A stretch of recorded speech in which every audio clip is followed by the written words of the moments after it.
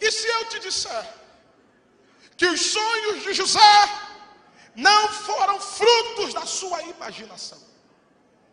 Ele não chegou em casa, colocou a cabeça no travesseiro, como todo ser humano normal faz, e sonhou. E quando você está na, na, na, sua cama, no seu travesseiro, você sonha tudo e mais um pouco. A sua mente trabalha, a sua imaginação funciona. José não sonhou o que a sua imaginação projetou. Os sonhos de José foram os sonhos de Deus entregues a ele. E o que, que José sonhou? Primeiro dia, meus irmãos, peço-vos que ouçam o sonho que eu tenho sonhado. Sonhei que estávamos no campo. Aonde? Aonde? No campo. Fazíamos? O meu feixe estava em pé.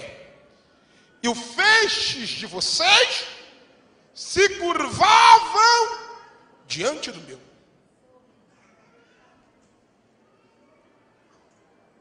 Aí os irmãos de José olharam que, sai lá que você é doido, rapaz. Nos respeita. Tu acha que você dominará sobre nós? Você acha que você governará sobre nós? Aí José não satisfeito. Deus faz ele sonhar novamente. E o segundo sonho, ele sonha com o sol, a lua e onze estrelas curvadas diante dele. Quando ele contou o sonho do dia seguinte, seus irmãos o repreenderam. Seu pai disse: Filho, que sonho é esse? Tu acha que eu, tua mãe, teus irmãos, nos curvaremos diante de você? Só que está escrito: e Jacó guardou aquilo no seu coração, porque só entende de sonho quem sonha. Perceba as ordens dos sonhos.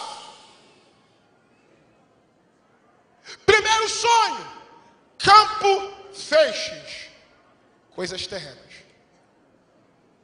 ou coisas materiais. Segundo sonho, sol, lua, estrelas.